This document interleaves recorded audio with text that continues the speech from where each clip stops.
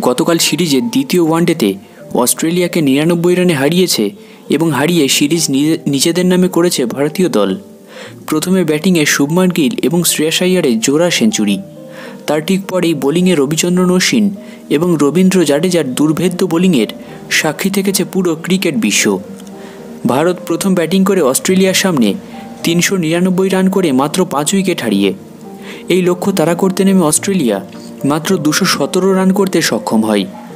ভারতের হয়ে ব্যাটিংয়ে গিল শ্রেয়াস থেকে, রাহুল স্কাই প্রত্যেকের অসামান্য পারফরমেন্স থেকে, বোলিংয়ে প্রসিদ্ধ কৃষ্ণা ও অশ্বিন জাডেজা জুটিতে বাজিমাত করেছে ভারত। সকলের একসাথে ভালো পারফরমেন্সে আন্তর্জাতিক ক্রিকেটে এক বড় রেকর্ড গড়েছে ব্লু ব্রিগেড। দ্বিতীয় ওয়ানডে ম্যাচে অস্ট্রেলিয়াকে হারানোর পর এক ম্যাচ বাকি থাকতেই সিরিজ নিজেদের নামে করেছে ভারত। এই সিরিজ জয়ের সাথে সাথে নিজেদের ঘরের মাটিতে একান্নতম ওয়ানডে সিরিজ জিতল ভারতীয় টিম। আন্তর্জাতিক ক্রিকেটের সব টিমকে পেছনে ফেলে এই নিয়ে ভারত সবথেকে বেশিবার সিরিজ জিতল। আগামী সেপ্টেম্বরের সাতাশ তারিখে অস্ট্রেলিয়ার বিরুদ্ধে তিন নম্বর এবং শেষ ওয়ানডে ম্যাচটি খেলবে ভারত।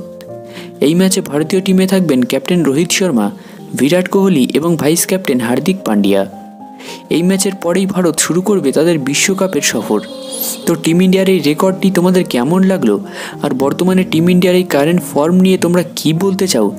নিচে কিন্তু অবশ্যই ভাই কমেন্টে জানাবে। তোমাদের প্রত্যেকের কমেন্ট কিন্তু আমি পড়ি, প্রত্যেকের কমেন্টেই কিন্তু আমি রিয়াক্ট করব।